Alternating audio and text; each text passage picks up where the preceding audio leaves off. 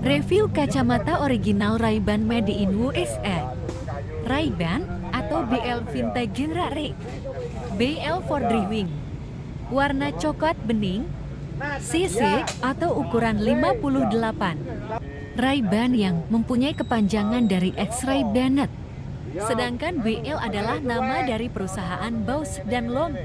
Ray-Ban adalah sebuah perusahaan kacamata di Amerika Serikat yang didirikan oleh Bose dan Loeb pada tahun-tahun 1937. Bose dan Loeb atau BL juga memproduksi selain Ray-Ban.